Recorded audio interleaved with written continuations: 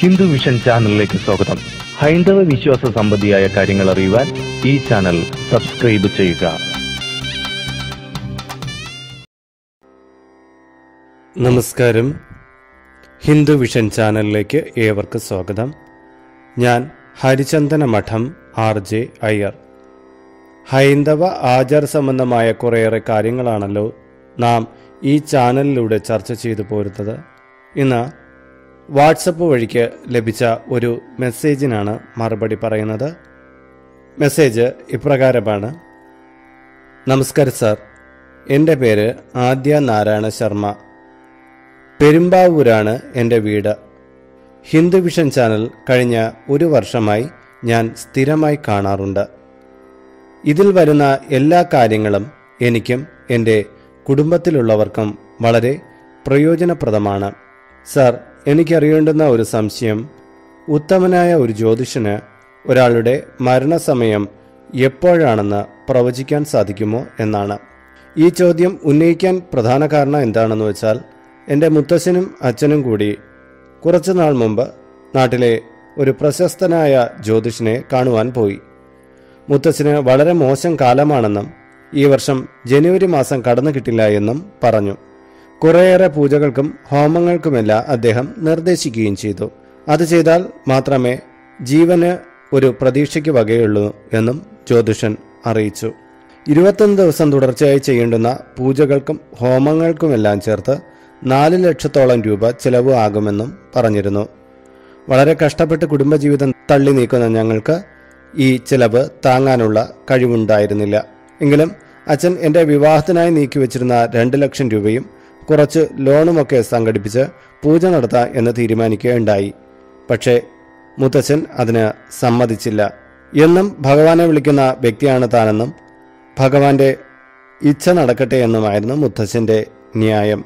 പൂജ നടത്തിയാൽ വീട് വിട്ടു പോകുമെന്നും മുത്തച്ഛൻ പറഞ്ഞു. മുത്തച്ഛന്റെ ഭക്തിയുടെ ബലം കൊണ്ടോ എന്തോ ജ്യോതിഷം പറഞ്ഞ മാസവും കടന്നു. ഇപ്പോൾ ഒമ്പത് മാസം കൂടി പിന്നിട്ടിരിക്കുന്നു. കാര്യമായ യാതൊരു അസുഖവും ഈ കാലയളവിൽ മുത്തച്ഛനുണ്ടായിട്ടില്ല എന്റെ ചോദ്യം അവിവേകമാണെങ്കിൽ പോർക്കണം ജ്യോതിഷർക്ക് ഒരാളുടെ മരണസമയം കൃത്യമായി പ്രവചിക്കാൻ സാധിക്കുമോ? അങ്ങനെ പ്രവചിക്കാൻ കഴിയില്ല എന്ന് ഒരു സപ്താഹ സ്ഥലത്ത് വെച്ച് ആചാര്യനായ ഒരു സ്വാമി പറയുന്നതും ഞാൻ കേട്ടു. ഹിന്ദു വിഷൻ ചാനലിൽ കൂടി സാർ ഇതിനൊരു മറുപടി നൽകണം. എന്റെ വാക്കുകൾ ജ്യോതിഷത്തെയോ ജ്യോതിഷന്മാരെയോ അപമാനിക്കാൻ ഉദ്ദേശിച്ചുള്ളതല്ല. അറിവിനു വേണ്ടിയാണ് ചോദിക്കുന്നത്. ദയവായി അങ്ങനെ മാത്രമേ ഈ മെസ്സേജിനെ കാണാവൂ എന്ന് അഭ്യർത്ഥിക്കുന്നു. നമസ്കാരം. ഉത്തരത്തിലേക്ക് പ്രവേശിക്കും മുമ്പ് നിങ്ങൾ ഈ ചാനൽ ആദ്യമായി കാണുന്ന വ്യക്തിയാണെങ്കിൽ ഇത് ലൈക്ക് ചെയ്യാനും ഷെയർ ചെയ്യാനും സബ്സ്ക്രൈബ് ചെയ്യാനും മറക്കരുത്. ഹൈന്ദവ ആചാര സംബന്ധമായതും മോട്ടിവേഷണൽ സംബന്ധമായതുമായ ഒട്ടേറെ ഓഡിയോ വീഡിയോ ബ്ലോഗുകൾ നിങ്ങൾക്ക് ഈ ചാനലിൽ നിന്ന് ലഭ്യമാകുന്നതാണ്. ഇതിൽ അപ്ലോഡ് ചെയ്യുന്ന ഓഡിയോ വീഡിയോകൾ നിങ്ങൾക്ക് ഉടനടി തന്നെ മൊബൈലിൽ നോട്ടിഫിക്കേഷനായി ലഭ്യമാകുവാൻ ഇതിന് മുകളിൽ കാണുന്ന ബെൽ ബട്ടൺ അമർത്തുക. ജ്യോതിഷം എന്നത് കണക്ക് കൂട്ടലുകളുടെ ശാസ്ത്രമാണ്. നേരിയൊരു കണക്ക് കൂട്ടലിന്റെ വ്യത്യാസം കൊണ്ട് തന്നെ ഫലപ്രവചനം കീഴ്മേൽ മറിയുന്ന ശാസ്ത്രവുമാണിത്. ആദ്യയുടെ ചോദ്യത്തിന് ഉത്തരം പറയുമ്പോൾ ജ്യോതിഷത്തെ ഒരിക്കലും കച്ചവടച്ചരക്കാക്കിയിട്ടില്ലാത്ത ആചാര്യന്മാരുടെ മുന്നിൽ ശിരസ് നമിച്ചേ മതിയാകൂ. കാരണം അത്രയ്ക്കും മഹത്തരമായ ഒരു ശാസ്ത്രശാഖയാണ് ഇത് മഹത്തായ ആചാര്യന്മാരാരും തന്നെ ഈ ശാസ്ത്രത്തെ കച്ചവട താല്പര്യത്തോടുകൂടി മറ്റുള്ളവരെ മാനസികമായി ചൂഷണം ചെയ്യാൻ ഉപയോഗിച്ചിട്ടില്ല. ഞാൻ ഇവിടെ ഇത് പറഞ്ഞു തുടങ്ങുന്നത് ചിലപ്പോൾ ചിലർക്ക് എന്റെ ഉത്തരത്തിന് അത്ര സ്വീകാര്യത കൊടുക്കാൻ കഴിഞ്ഞു എന്ന് വരില്ല. അവർക്ക് എന്റെ മറുപടിയിൽ ഈർഷ്യയും ഉണ്ടായെന്ന് വരും. പക്ഷേ ഇവിടെ ഒരു സത്യത്തെ ബോധിപ്പിക്കാനാണ് ഞാൻ ശ്രമിക്കുന്നത്. അതുകൊണ്ട് ഞാൻ എന്റെ ന്യായത്തെയാണ് ഇവിടെ തുറന്നു പറയുന്നത്. ജനനമുള്ള ഏതൊന്നിനും മരണമുണ്ടെന്ന് ഉള്ളത് പ്രപഞ്ച സത്യമാണ് ഏത് ജീവിവർഗത്തിനും മരണഭയമുണ്ട്. ജ്യോതിഷത്തിൽ ഒരു വ്യക്തിയുടെ ആയുസിന്റെ ദൈർഘ്യത്തെ ഏകദേശം എന്ന വണ്ണം നിർണയിക്കാം എന്നാൽ അതൊരു പൂർണ സത്യമാകുന്നില്ല എന്നതാണ് വാസ്തവം. കാരണം ഒരാളുടെ ആയുർസ്ഥാനം പരിഗണിച്ച് അയാൾക്ക് ഈ ദശാസന്ധി സമയത്തോ അല്ലെങ്കിൽ ഈ ദശയിൽ ഇന്ന അപഹാരമുള്ള കാലത്തോ അല്ലെങ്കിൽ കണ്ടകശനി നിൽക്കുന്ന കാലത്തോ അപ്പോഴൊക്കെ മരണം നിർണയിക്കാൻ ചിലപ്പം കഴിഞ്ഞു എന്ന് വരാം. ഗ്രഹനിലയും സൂക്ഷ്മമായി പരിശോധിക്കുന്ന വ്യക്തിക്ക് ഒരു അപകടഘട്ടത്തെ നിർണയിക്കാൻ കഴിഞ്ഞു എന്ന് വരാം. പക്ഷേ ഒരാളുടെ മരണത്തെ നിർണയിക്കാൻ ഇതൊന്നും പര്യാപ്തമാകുന്നില്ല. അത് ഈശ്വര നിശ്ചയം തന്നെയാണ്. ഒരാൾക്ക് അറുപത്തഞ്ചിലോ എൺപതിലോ മരണം പറഞ്ഞിരിക്കുന്നു എന്ന് വെച്ചോ ജാതകപരമായിട്ട്. പക്ഷെ അയാൾ ഒരു മുപ്പത്തഞ്ചാമത്തെ വയസ്സിൽ ഒരു ആക്സിഡന്റിൽ പെട്ട് മരണപ്പെട്ടു പോവുകയാണ്. അപ്പോഴാണെങ്കിൽ ആ ജാതകത്തിൽ യാതൊരു പ്രശ്നവും ഇല്ലായിരുന്നു അതായത് ഒരു ദശാസന്ധിയോ നല്ല ഒരു ദശയിൽ തന്നെയാണ് അദ്ദേഹം മരണപ്പെട്ടത് എന്നിരിക്കട്ടെ. അങ്ങനെ മരണപ്പെട്ട ഒട്ടേറെ ജാതകങ്ങളെ ഞാൻ കാണിച്ചുതരാം. നല്ല വളരെ മോശപ്പെട്ട കാലഘട്ടങ്ങളെ തരണം ചെയ്തിട്ട് പിന്നെ ജീവിതത്തിൽ നല്ല ഉയർച്ച വരുന്നു എന്ന് പറയുന്ന സമയത്ത് ചില പ്രശ്നങ്ങളുണ്ടായ മരണപ്പെട്ടു പോയ ആൾക്കാരുടെ ഒന്നിലധികം പേരുടെ അല്ലെങ്കിൽ നൂറുകണക്കിന് പേരുടെ തന്നെ ജാതകത്തെ ഞാൻ കാണിച്ചു തരാം കാര്യം ഇത് പരിശോധിച്ച് അറിഞ്ഞ കാര്യം തന്നെയാണ്. കുറേ മോശ കാര്യങ്ങൾ സംഭവിക്കും എന്ന് പറഞ്ഞു കൊടുക്കാമെന്നല്ലാതെ മരണം നിർണയിക്കുക വളരെ പ്രയാസമാണ്. ചിലപ്പോൾ ആ സമയത്ത് മരിക്കുമെന്ന് പറഞ്ഞു കഴിഞ്ഞാൽ ഈ വ്യക്തി ചിലപ്പോൾ ഇതിലായിട്ട് അന്ധമായ വിശ്വാസമുള്ള ഒരു വ്യക്തിക്ക് ചിലപ്പോൾ ആ സമയമാകുമ്പോൾ വളരെ ഉത്ഭയം തോന്നുകയും അയാളുടെ മാനസികമായ ഊർജം എല്ലാം കെട്ടുപോവുകയും ചെറിയൊരു രോഗം തന്നെ അയാളെ മാനസികമായി കീഴടക്കുകയും ആ കീഴടക്കൽ അയാളുടെ അന്ത്യത്തിലേക്ക് നയിക്കുക വരെ ചെയ്തേക്കാം. അങ്ങനെ ജ്യോതിഷത്തെ അന്ധമായി വിശ്വസിക്കുന്ന പലർക്കും വളരെ വളരെ എന്താ അപകടങ്ങൾ നിറഞ്ഞ അവസ്ഥയിലൂടെ കടന്നു പോകേണ്ടതായിട്ട് വന്നിട്ടുണ്ട്. ഇവിടെ ഞാൻ പറയാൻ പോകുന്നത് ഒരു ചെറിയ കഥയാണ്. അത് മഹാഭാരതത്തിലുള്ളത്. ഒരു ദിവസം പാണ്ഡവര് സദസ്സിലിരിക്കുമ്പോൾ വളരെ ഗഹനമായ ചർച്ചയാണ് ആ സദസ്സിൽ നടന്നുകൊണ്ടിരിക്കുന്നത്. ഒരു ബ്രാഹ്മണൻ കടന്നു വരുന്നു. വളരെ ദൂരത്തുനിന്ന് വരുന്ന ആളാണ്. അദ്ദേഹത്തിന് ഏഴ് മക്കളുണ്ട്. ആ കുട്ടികളെ നോക്കാൻ അദ്ദേഹത്തിന്റെ കയ്യിലാണെങ്കിൽ ഒന്നുമില്ല ഒരു സമ്പാദ്യമില്ല യുധിഷ്ഠിരനോട് ചോദിച്ചു കഴിഞ്ഞാൽ എന്തെങ്കിലും കുറച്ച് തരും അതുകൊണ്ട് കുട്ടികളെ പുലർത്താം ഇച്ചിരി ഭൂമിയൊക്കെ കിട്ടും എന്നൊക്കെയുള്ള ചിന്തയിലാണ് ഈ ബ്രാഹ്മണൻ വരുന്നത്. യുധിഷ്ഠിരൻ എല്ലാവർക്കും എല്ലാം കൊടുക്കുന്ന ആളും തന്നെയാണ്. പക്ഷെ ഗഹനമായ ചർച്ചയ്ക്കിടയിലാണ് ഈ ബ്രാഹ്മണൻ വന്ന് കയറുന്നത്. അപ്പോൾ യുധിഷ്ഠിരന്റെ അടുത്ത് ബ്രാഹ്മണൻ കാര്യം പറയും എനിക്ക് എന്തെങ്കിലും തരണം എന്റെ ആവശ്യം ഇന്നതാണ് എന്ന് പറയും. അപ്പോൾ യുധിഷ്ഠിരൻ പറയും ശരി തീർച്ചയായിട്ടും അങ്ങേക്കുള്ളത് ഞാൻ തന്നിരിക്കും. അങ്ങ് ആഗ്രഹിക്കുന്നതിലേറെ തന്നിരിക്കും. പക്ഷെ ഇന്ന് ഞാൻ ഇവിടെ വലിയൊരു ചർച്ച നടത്തുകയാണ്. വളരെ പ്രധാനപ്പെട്ട കാര്യമാണ് ഇവിടെ നടക്കുന്നത്. അങ്ങ് നാളെ രാവിലെ എന്നെ വന്ന് കാണുക. അങ്ങയുടെ ആവശ്യമല്ല ഞാൻ നിറവേറ്റിത്തരാം. ബ്രാഹ്മണൻ സന്തോഷത്തോടെ തിരിച്ചു നടക്കുന്നു. പെട്ടെന്നാണ് ഭീമസേനൻ ഊറിച്ചിരിക്കുന്നത് ധർമ്മപുത്രർ കാണുന്നത്. ഭീമൻ ഊറിച്ചിരിച്ചുകൊണ്ടിരിക്കുന്ന കാണുമ്പോൾ ധർമ്മപുത്രർക്ക് എന്തോ പന്തികേട് തോന്നും. അദ്ദേഹം ചോദിക്കും എന്താ ഭീമ? ഞാൻ പറഞ്ഞത് ഇഷ്ടമായില്ലേ എന്തിനാ ചിരിക്കുന്നത്? താങ്കളുടെ മുഖത്ത് ഇത്രയധികം സന്തോഷം വരാൻ കാരണം എന്താണ്? അപ്പോൾ ഭീമൻ പറയും അല്ലയോ ജ്യേഷ്ഠ അങ്ങ് നാളെയും ഇതേ സമയത്ത് ജീവനോടെ ഉണ്ടാകും എന്ന അറിഞ്ഞതിലുള്ള സന്തോഷം കൊണ്ടാണ് ഞാൻ ചിരിച്ചത്. എനിക്ക് വളരെ സന്തോഷമായി എന്ന് പറയും. അപ്പോഴാണ് യുധിഷ്ഠിരന് കാര്യം മനസ്സിലാകുന്നത്. അദ്ദേഹം പെട്ടെന്ന് തന്നെ ബ്രാഹ്മണനെ തിരിച്ചു വിളിച്ചു വരുത്തി അദ്ദേഹത്തിന് കൊടുക്കേണ്ടതെല്ലാം കൊടുക്കും. അതായത് നമ്മുടെ മൂക്കിൽ നിന്ന് പുറത്തേക്ക് പോകുന്ന ശ്വാസം അത് അവസാനത്തേതാണോ എന്ന് ഒരാൾക്കും പ്രവചിക്കാൻ പറ്റില്ല. ഒരു തവണ പുറത്തേക്ക് ശ്വാസം വിട്ടതിന് ശേഷം നമ്മൾ തിരിച്ച് ശ്വാസം എടുക്കുമോ എന്നുള്ള കാര്യം ദൈവത്തിന് മാത്രം അറിയാവുന്നുള്ള കാര്യമാണ്. അപ്പോൾ ഇങ്ങനെ ഒരു പ്രപഞ്ച സത്യത്തെയാണ് ഭീമൻ അവിടെ വെളിവാക്കിയത്. മനുഷ്യന്റെ ജീവത്ഭയം എന്ന ഒരു അടിസ്ഥാന ഘടകത്തെ മുതലാക്കി അവർ ഇന്ന ദിവസം മരിച്ചു പോകും എന്നൊക്കെ പറഞ്ഞ് അതിന്റെ പുറത്ത് ഒരുപാട് പൂജകളും കാര്യങ്ങളൊക്കെ ചെയ്യിക്കുന്നത് തെറ്റല്ലേ? അപ്പം മരണം മനുഷ്യന് എപ്പോഴായാലും സംഭവിക്കും.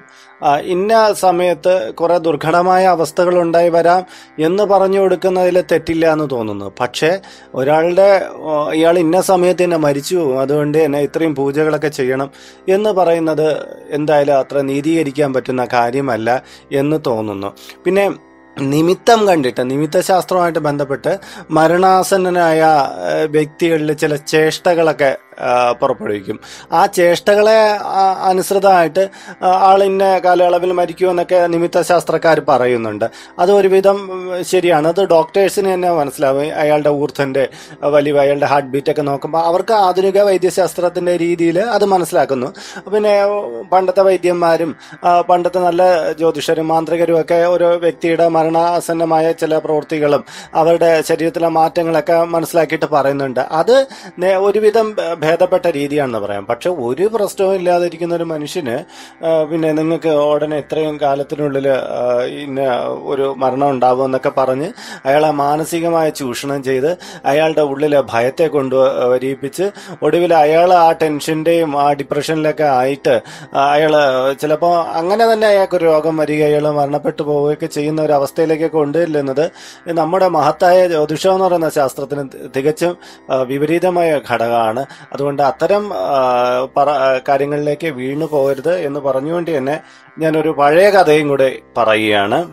ഒരിക്കലും ഒരു രാജാവിന്റെ കൊട്ടാരത്തിൽ ഒരു ജ്യോത്സ്യനെത്തി.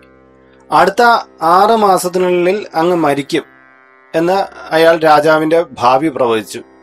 രാജാവിന് ആകെ അങ്കലാപ്പായി. മരണഭീതി അദ്ദേഹത്തിന്റെ ആരോഗ്യം നശിപ്പിച്ചു. വിവരം മനസ്സിലാക്കിയ മന്ത്രി മഹാരാജാവിനെ സമാധാനിപ്പിക്കാൻ ഏറെ ശ്രമിച്ചു. ജ്യോത്സ്യന്മാരുടെ പ്രവചനങ്ങളെല്ലാം എപ്പോഴും ശരിയായിരിക്കണമെന്നില്ലെന്ന് അദ്ദേഹം പറഞ്ഞു കൊടുക്കുകയും ചെയ്തു. പ്രത്യേകിച്ച് ഈ മരണവുമായി ബന്ധപ്പെട്ട കാര്യങ്ങളിലൊക്കെ അങ്ങനെ സത്യം ഭവിക്കുകയില്ല എന്നൊക്കെ പറഞ്ഞു. പക്ഷെ രാജാവിന് അസ്വസ്ഥത വർദ്ധിച്ചതേ ഉള്ളൂ. മഹാരാജാവിന്റെ മരണഭീതി എങ്ങനെ അവസാനിപ്പിക്കണമെന്ന് മന്ത്രി തീരുമാനിച്ചു. അങ്ങനെ ഏതാനും ദിവസങ്ങൾ കഴിഞ്ഞപ്പോൾ മന്ത്രി അദ്ദേഹം ജ്യോതിഷനെ വീണ്ടും രാജസന്നിധിയിലേക്ക് ക്ഷണിച്ചു. ജ്യോത്സ്യം വന്നു. അദ്ദേഹത്തിന്റെ നിഗമനം ശരിയാണോ എന്ന് ഒരിക്കൽ കൂടി പരിശോധിക്കാൻ മന്ത്രി നിർദ്ദേശിച്ചു. ജോത്സ്യം കണക്കുകൾ കൂട്ടി പലതവണ കൂട്ടിക്കഴിച്ചിട്ട് അയാൾക്ക് പഴയ നിഗമനത്തിൽ തന്നെയാണ് എത്തിച്ചേരാൻ കഴിഞ്ഞത്. മഹാരാജാവിന്റെ മരണം അടുത്തിരിക്കുന്നു എന്ന നിഗമനത്തിൽ. അതും ആ ഡേറ്റ് കൂടി അദ്ദേഹം പറയുകയാണ്. അപ്പോ മഹാരാജാവ് ഭയം കൊണ്ട് വിളറി വെളുത്തുപോയി. അപ്പൊ മന്ത്രി ജോത്സ്യനോട് ഒരു ചോദ്യം ചോദിച്ചു. താങ്കൾ എപ്പോൾ മരിക്കുമെന്ന് താങ്കൾക്ക് അറിയാമോ ജോത്സ്യൻ ചിന്തയിലാണ്ടു. പിന്നെ കുറച്ച് കൂട്ടലും കിഴക്കലുകളൊക്കെ നടത്തിയിട്ട് പറഞ്ഞു. പന്ത്രണ്ട് വർഷം പന്ത്രണ്ട് ദിവസം കഴിയുമ്പോൾ മരിക്കുമെന്ന് ജോത്സ്യൻ ഉത്തരവും പറഞ്ഞു.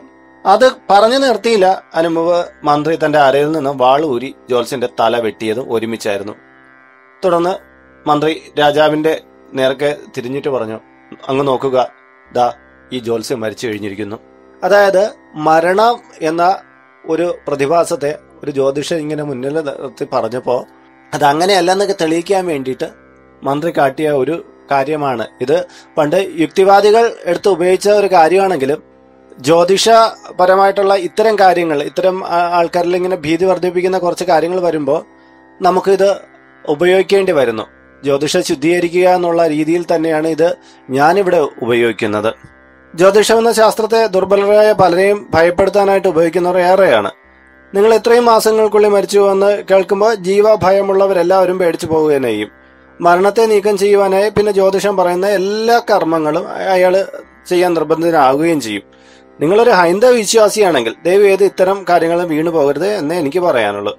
പിന്നെ എനിക്കൊരു പറയാനുള്ള മറ്റൊരു കാര്യം ഞാൻ ഈ പറഞ്ഞത് കൃത്യമായി മരണ സമയമൊക്കെ ഗണിക്കാൻ പറ്റുന്ന ജ്യോതിഷനുണ്ടെന്ന് ആർക്കെങ്കിലുമൊക്കെ അഭിപ്രായം ഉണ്ടെങ്കിൽ ദൈവേത് നമ്മുടെ ഒന്ന് രണ്ട് പ്രമുഖരുടെ മരണ ദിവസം ഒന്ന് കൃത്യമായിട്ട് ഇവിടെ ഇതിന്റെ തന്നെ കീഴെ കമന്റ് ബോക്സിൽ രേഖപ്പെടുത്തിയാൽ എന്റെ വാദങ്ങൾ പൊള്ളയാണെങ്കിൽ അത് മറ്റുള്ളവർക്ക് വാദിക്കാനെങ്കിലും വാദിച്ച് ജയിക്കാനെങ്കിലും പറ്റുമല്ലോ. ഒന്ന് നമ്മുടെ പ്രധാനപ്പെട്ട ഒന്ന് രണ്ട് വ്യക്തികൾ ഒന്ന് മോഹൻലാലിന്റെയോ മമ്മൂട്ടിയുടെയോ നരേന്ദ്രമോദിയുടെയോ അല്ലെങ്കിൽ രാഹുൽ ഗാന്ധിയുടെയോ അങ്ങനെ ഏതെങ്കിലും പ്രശസ്തരായ ഒന്ന് രണ്ട് പേരുടെ മരണ ദിവസം ഇന്ന ദിവസമായിരിക്കും എന്ന് പറഞ്ഞു വന്ന് കമന്റ് ചെയ്ത് ഈ കമന്റ് ബോക്സിലിടോ ഈ ശാസ്ത്രത്തിൽ ഇങ്ങനെ ഒരു കാര്യത്തിൽ ആർക്കെങ്കിലുമൊക്കെ വിശ്വാസം വരുമെങ്കിൽ അവരങ്ങ് വിശ്വസിക്കട്ടെ. നമുക്കും കൂടി ഒന്ന് തിരിച്ചറിയാൻ പറ്റുമല്ലോ ഇങ്ങനെ ഒരു കഴിവുണ്ടെന്ന്. പക്ഷെ ഞാൻ കണ്ടിട്ടുള്ളപ്പോൾ മരണത്തിനെ കുറിച്ച് പറയുന്ന ഒരു ശാസ്ത്രത്തിലും കൃത്യമായ ഡേറ്റ് ഒന്നും ഒരിടത്തും ഒരാളും പറഞ്ഞ് കണ്ടിട്ടില്ല.